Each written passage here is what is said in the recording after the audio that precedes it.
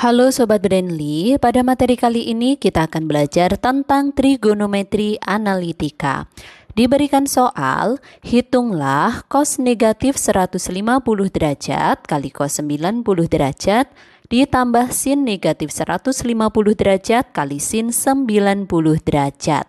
Nah, untuk menjawab soal tersebut, kita akan menggunakan salah satu sifat dari trigonometri, yaitu cos alfa dikurangi beta sama dengan cos alfa kali cos beta ditambah dengan sin alfa dikalikan dengan sin beta.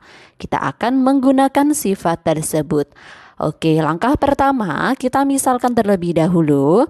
Misal A sama dengan negatif 150 derajat.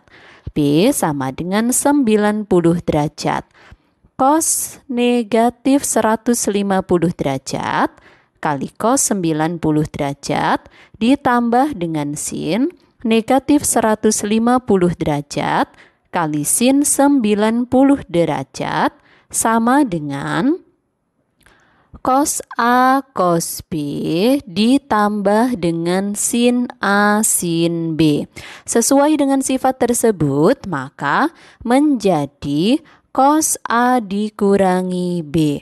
Kita tinggal substitusikan nilai A dan B-nya, yaitu cos A-nya adalah negatif 150 derajat dikurangi B-nya 90 derajat.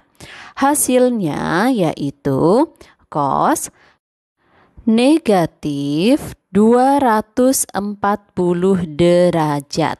Jadi cos negatif 150 derajat cos 90 derajat ditambah sin negatif 150 derajat sin 90 derajat sama dengan cos negatif 240 derajat.